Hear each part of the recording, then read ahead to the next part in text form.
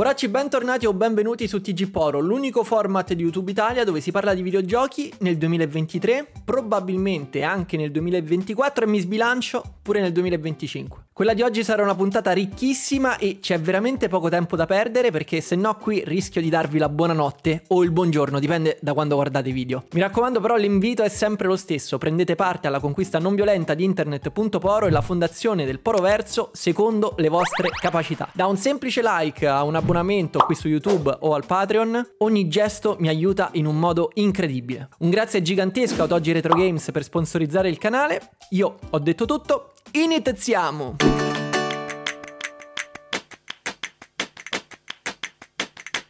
Partiamo dall'angolo della poracciata con una settimana un po' moscetta per l'Epic Game Store. Questa settimana infatti il negozio offre gratis fino al 12 Godlike Burger, un titolo di cui non ho mai sentito parlare ma non lo so, la cover non è che mi ispiri più di tanto. Non è poi che i titoli disponibili dal 12 saranno tanto migliori, però come si dice, a caval donato non si guarda in bocca. Vi ricordo che da martedì scorso potete provare i giochi del PlayStation Plus Essential del mese. L'offerta principale è quella di The Callisto Protocol, titolo che lo scorso anno non ha impressionato in positivo come in tanti speravano riuscisse a fare il seguito spirituale di Dead Space. Se avete avuto la pazienza di aspettare fino ad oggi, è giunto il momento di recuperarselo in modo poraccio, anzi essenziale. Sul fronte Microsoft invece vi segnalo un po' di cosette interessanti. A proposito di titoli che non hanno mantenuto le aspettative, Gotham Knights è ora disponibile sul pass sia su console che PC che cloud. Inoltre dal 17 arriverà anche Like a Dragon Ishin, ma intanto vorrei concentrarmi su un nome di sicuro meno di impatto, ma che secondo me dovete assolutamente provare. Cocoon. Il titolo è disponibile già da un po', credo addirittura dalla scorsa settimana, e io me lo ero fatto sfuggire, ma ora che lo sto giocando, devo dire che si tratta proprio di una gemma indie. Non a caso il titolo è stato diretto da Jeppe Carlsen, uno dei due nomi dietro ai capolavori di Playdead, Limbo e Inside, ed è incredibile come il gameplay sia molto diverso da questi due titoli, ma comunque Cocoon ne condivide una genialità di fondo, un'idea di game design che fa sì che si riesca a creare un puzzle game innovativo e coinvolgente senza bisogno di strafare. Sul serio, è un gioco in cui non ci sono dialoghi e si preme solo un tasto, eppure è una delle migliori esperienze dell'anno. Io ve lo straconsiglio, anche perché dura circa 4 ore ed è lo stoppino perfetto in attesa delle grandi produzioni di ottobre. Ma in tutto questo c'è anche Forza Motorsport che ufficialmente arriverà il 10, ma che è possibile già giocare in early access se è stata comprata la Deluxe Edition. Non sono un patito di racing game, ma questo nuovo capitolo della serie Turn 10, che dovrebbe rappresentare un po' un nuovo punto di partenza, non a caso è stata abbandonata la numerazione nel titolo, in realtà è stato accolto con qualche riserva dalla critica.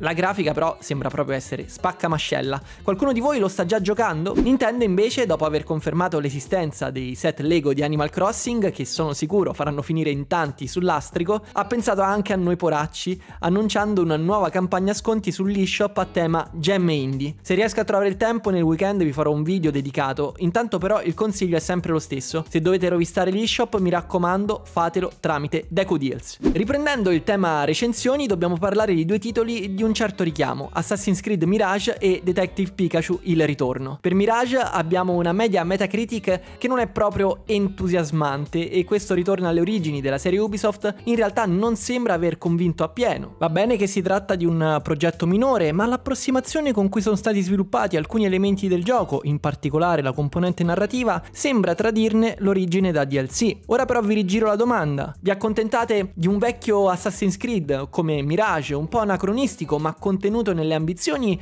oppure avreste preferito un nuovo, immenso action RPG open world alla Valhalla? E anche Detective Pikachu è stato accolto in modo un po' freddino dalla critica. Qui abbiamo una media Metacritic ferma per ora a 69 e per quanto si parli di un seguito che espande in modo convincente le premesse narrative gettate con il primo episodio e in parte anche con il film, un po' tutta la critica è concorde nell'affermare che è passato troppo tempo per potersi accontentare di così poco. Un gameplay molto limitato e una realizzazione tecnica che forse avrebbe sfigurato anche su 3DS affossano un concept di per sé intrigante. Io non ve l'ho mai nascosto, il gioco mi attira meno di zero, ma sono curioso di sapere se tra di voi c'è qualcuno che conta di prenderlo. Invece, chi di voi stava aspettando l'Arkham Trilogy su Nintendo Switch? Ecco, mi dispiace deludere i fan di Batman, ma questi dovranno aspettare ancora un po'. Il titolo, previsto per il 13 ottobre, è stato ufficialmente posticipato al primo dicembre. Da una parte meglio, perché in queste settimane uscirà il mondo mondo e di sicuro in pochi avrebbero scelto di dare priorità a questa raccolta. Dall'altra però rimane la curiosità di capire come diavolo hanno fatto a far girare Arkham Knight su Switch. Questo sì che è un porting impossibile e il rischio di aver fatto un pasticcio è altissimo. In ogni caso vi ricordo che nella versione fisica della collection su cartuccia sarà presente solo il primo titolo, Arkham Asylum, mentre gli altri due, City e Night, andranno scaricati tramite codici di download. E per la serie a volte ritornano, Feral Interactive ha annunciato una versione per Nintendo Switch di Hitman Blood Money, il classicone della serie stealth uscito nel 2006 un po' su tutte le console dell'epoca. Il team è lo stesso che si è occupato del porting su Switch di Alien Isolation, quindi mi aspetto una versione di tutto rispetto. Il gioco promette numerosi miglioramenti al gameplay e l'uscita è prevista per un generico inverno di quest'anno. Però ci dobbiamo soffermare su un dettaglio. È interessante notare come ormai Switch sia considerata la stregua del mercato smartphone. Direi che è proprio ora di passare alla next gen. E proprio partendo da questa considerazione passerei alle notizie del giorno. Abbiamo infatti un bel po' di novità riguardanti le generazioni di Nintendo e anche se apparentemente si tratta di eventi non correlati tra di loro, se analizzati li possiamo inserire in un contesto ben preciso. Innanzitutto parliamo di all gen. Nello shorts di ieri vi ho già dato la brutta notizia che Nintendo a partire da aprile 2024 chiuderà le funzionalità online dei software 3DS e Wii U. È una notizia che arriva un po' come un fulmine a ciel sereno, perché dopo la chiusura avvenuta quest'anno dei rispettivi store digitali, in tanti si sarebbero aspettati che il multiplayer online sarebbe rimasto disponibile ancora per un bel po' di tempo. In fondo servizi del genere sono ancora attivi su PlayStation 3 e PlayStation Vita, e una delle due non è che sia stata proprio una console di successo. Concretamente questa scelta significa che non sarà più possibile avviare i servizi online di tutti i software pubblicati da Nintendo, e questo comprende anche il multiplayer e il trasferimento dei dati. Tranquilli però, il 3DS per lo Street Pass e lo Spot Pass non utilizza internet ma una tecnologia diversa e queste due funzionalità rimarranno attive. Non so quanti di voi giocano ancora su queste piattaforme, ma togliendo i giochi che magari presentano anche un comparto single player di tutto rispetto e che quindi potranno continuare a essere apprezzati nonostante tutto, ci sono giochi che invece a partire da aprile 2024 diventeranno praticamente inutilizzabili, come ad esempio Triforce Heroes, Splatoon o anche Mario Maker. Si potrà ovviamente continuare a giocare in locale e scaricare contenuti aggiuntivi e giochi già acquistati in precedenza, ma è palese l'intenzione di Nintendo di voler spostare tutta la sua utenza su un'unica piattaforma. Un problema del genere nasce proprio dal non aver investito già nei primi anni 10 in un sistema di account e in Nintendo ID che non fosse dipendente dalle piattaforme, ma che fosse in grado di abbracciare tutto un ecosistema di device appartenenti al mondo Nintendo, un po' come accade con gli account Microsoft. Quindi potremmo vedere questo taglio con il passato come il primo passo per effettuare una transizione definitiva alla next gen, spostando tutta l'utenza sui Nintendo account, che sappiamo rappresenteranno un perno centrale nelle strategie future di Nintendo. Il tempismo poi di questa chiusura fa pensare proprio alla potenziale presentazione di una Switch 2 che potrebbe avvenire proprio in quel periodo temporale. Ma questo non entra un po' in conflitto con le recenti affermazioni di Shuntaro Furukawa?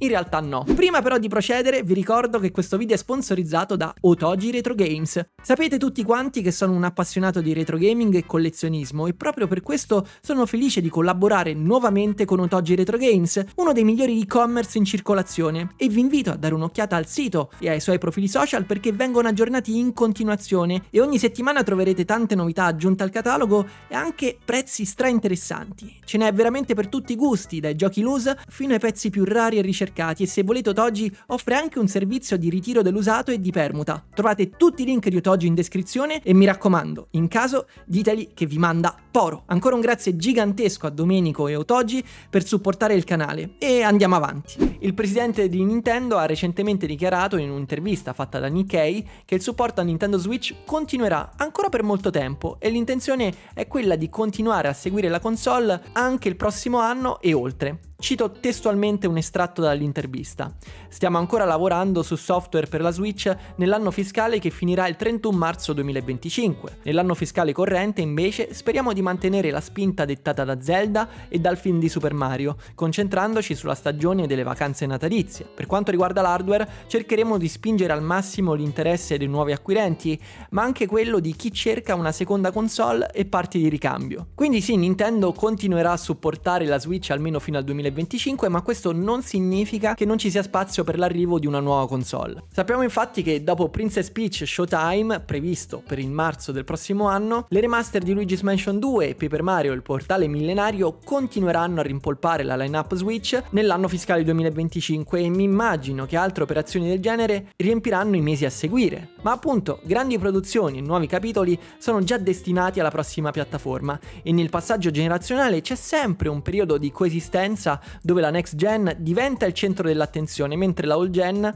spara le sue ultime cartucce ed ospita anche produzioni cross generazionali. E tenete gli occhi aperti perché vi ricordo ad esempio che nel 2017 mentre tutti sbavavamo su Switch, su 3DS uscivano bombe del calibro di Samus Returns, che oggi non è neanche così facile da reperire. Insomma, per me si concretizza sempre di più l'idea di una Switch 2 presentata nel corso del 2024 con un lancio previsto entro la fine dell'anno. Switch continuerà a ricevere supporto, ma piano piano lascerà il passo a Switch 2, Switch NG o come volete chiamarla. Voi poracci che cosa ne pensate? E questo era tutto per oggi, vi ringrazio per essere arrivati fino in fondo e vi aspetto qua sotto nei commenti per continuare a discutere insieme delle notizie del giorno. Non mi resta che darvi appuntamento al prossimo video che arriverà quando arriverà. Voi nel frattempo mi raccomando, fate i bravi, riposatevi dormendo Sonic tranquilli, ma soprattutto nerdate duro. Io sono il Poro 3DS, Michele Wii U Ciao! Ehi ehi ehi, fermo! Se questo tipo di video ti piace, prendi in considerazione l'idea di supportarmi sul Poreon, il Patreon dei Poracci. Con un piccolo contributo mensile mi puoi aiutare enormemente nella creazione di video qua sul canale e in più ricevi in cambio delle ricompense di tutto rispetto, come retroscena, anteprime e anche live esclusive dove andremo insieme a caccia di retro game. Ti lascio il link in descrizione e ricordati che Poracci si diventa!